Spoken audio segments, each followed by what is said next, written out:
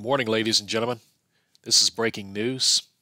Russia notifies Ireland of unwelcome naval exercises off Irish coast. Russia has notified Ireland of Russian naval exercises in international waters in the Irish Sea. Irish Foreign Minister Simon Coveney said on Monday, adding that they are unwelcome. We don't have the power to prevent this happening, but certainly I've made it clear to the Russian ambassador in Ireland that this is not a problem. This isn't a time to increase military activity and tension, Coveney said.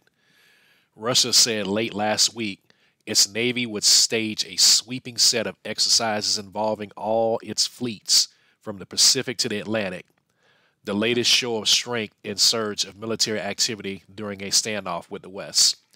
Again, this is breaking news. Russia notifies Ireland of unwelcome naval exercises off Irish coast. Stay tuned for more updates from this channel. Please like, share, and subscribe and comment. And I'll see you on the next video. Shalom.